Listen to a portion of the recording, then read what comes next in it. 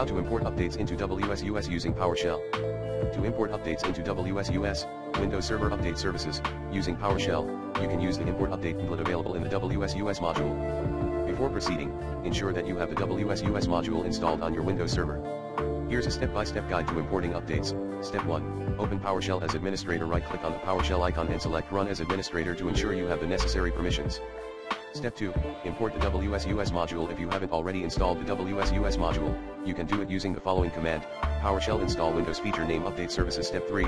Import updates you need to prepare the updates in the WSUS import folder before importing them.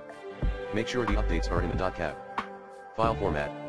Here's the PowerShell script to import updates. PowerShell hashtag set the WSUS import folder path.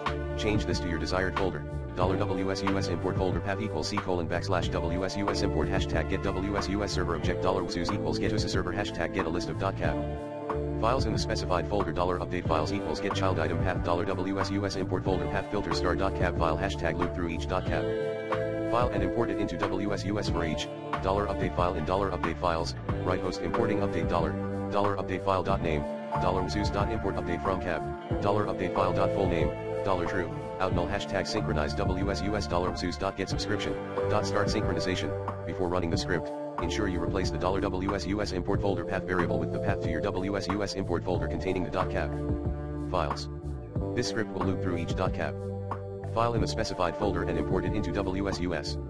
The import update from cap method is used to import the update, and the start synchronization method is called to synchronize WSUS after importing. Please note that importing updates into WSUS is a critical operation, and it's essential to ensure the updates are legitimate and come from reliable sources. Always exercise caution and verify the updates before importing them into your WSUS server. Additionally, creating a backup of your WSUS server before performing any major updates or imports is strongly recommended.